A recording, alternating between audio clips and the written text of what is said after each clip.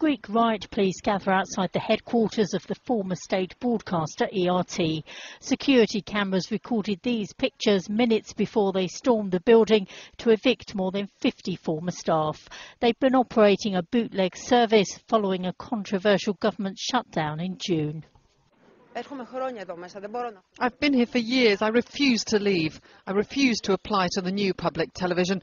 Instead, I gave up my position. I feel like they've raped me, like they've violated my home, they've violated my life and democracy, they've destroyed everything.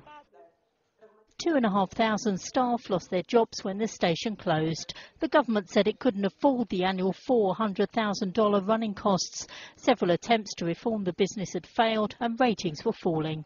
Those who refused to leave carried on broadcasting via the internet and many supported their protest, saying it was wrong of the government to close the station to appease international lenders. Opposition lawmaker Thanasis Pafilis. This continues the autocratic actions by the government in order to impose policies that don't have the consent of the people. A new state TV service was set up to replace ERT.